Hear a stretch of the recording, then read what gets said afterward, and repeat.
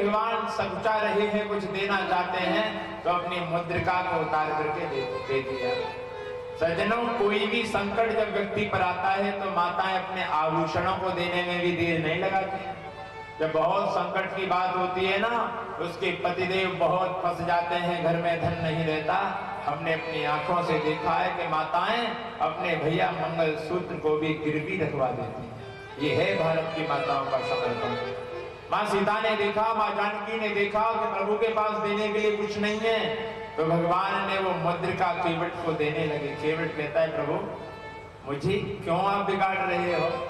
मुझे, अरे, उस केकड़ी ने भेजा है जिसने, उसने भी इनके रत्न नहीं उतर पाए, आभूषण नहीं उतर पाए तो मैं इतना नीचे गिर जाऊँगा कि माँ के आभूषण उतरवाऊँगा। प्रभु, नाथ आज मैं काह न पावा, मिटे दोष दुख दारे न दावा। दारिद दावा बहुत काल में कीन मजूरी, आज दीन विधि बनी भले पूरी। प्रभु, मैं तो बहुत दिनों से मजदूरी कर रहा था, बहुत दिनों से नाव चला रहा था। सही बताऊँ, आज मेरा नाव चलाना सार्थक हो गया। प्रभु, नाथ, आज मैं कहा न पावा? आज बताओ, मैंने अपने जीवन में क्या न पा लिया? अरे, मेरे जीवन के दोष मिट गए। मेरे जीवन के दुख मिट गए। मेरे जीवन की दरिद्रता मिट गई इससे ज़्यादा और क्या चाहिए?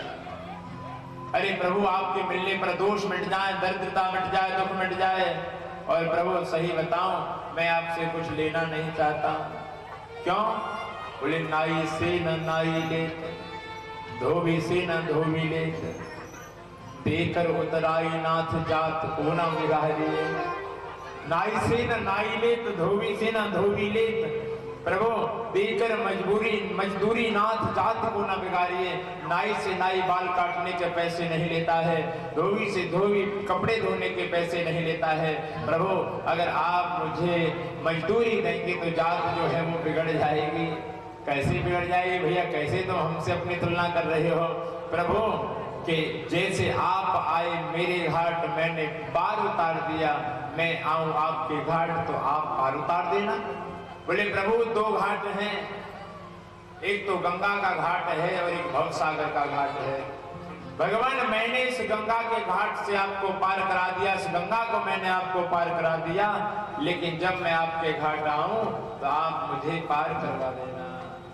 प्रभु, पार कराने का काम मेरा है और पार कराने का काम आपका भी है।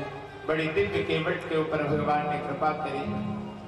उसके बाद में प्रयागराज में पहुँचे। और प्रयागराज में कौन